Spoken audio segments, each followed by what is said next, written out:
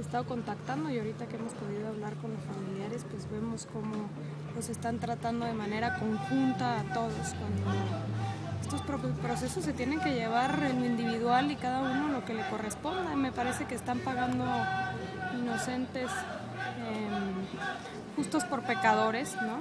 Nadie ha dicho que no hubieron destrozos, que no hubo violencia, pero pues no por eso se tiene que juzgar a todos en conjunto y por eso estamos aquí, vamos a solidarizarnos, vamos a hablar con el procurador para que cada uno se le atienda, se vean las pruebas, ¿no? se revisen bien los casos, sean liberados los que no tienen ningún tipo de responsabilidad en este asunto. Y tú buscarías, por otra parte, que fueran mm, este, buscados los responsables y, la gente que, de alguna forma es inocente y está aquí adentro, este, pues la dejen en libertad.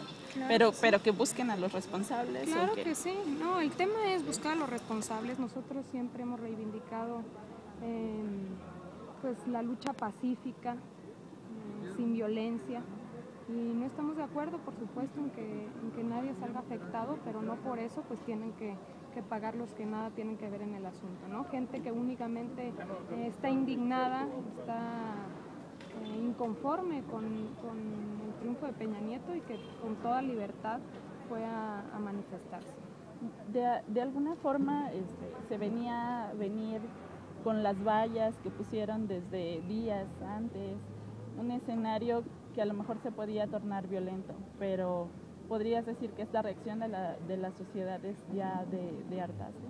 Claro que sí, es de muchísimo hartazgo, ¿no? Son millones de personas en todo el país que, que estamos inconformes, me sumo por supuesto, y, y, yo creo que pues este tipo de actos provocan, lo que hacen es provocar miedo, ¿para qué? Para que la juventud y la sociedad en general no salga a las calles a manifestarse y por eso estamos tan indignados nosotros con todo este asunto. ¿Hasta dónde apoyarás el caso de los jóvenes? Eh, pues hasta que se resuelva, hasta que se liberen los, que no tienen ningún tipo de responsabilidad, los inocentes. Eh, vamos a estar por lo pronto todo el día de hoy em, viendo qué posibilidades hay, hablando con el procurador y, y tratando de resolver hasta donde eh, este, de no tener nada con el procurador, buscarán a Marcelo Ebrard? Claro que sí, vamos a buscar a Marcelo. Eh, y vamos a estar aquí apoyando a las familias con todo lo, a través de todos los medios que sean posibles. Ah, para impedir que se siga actuando este, de esta manera arbitraria.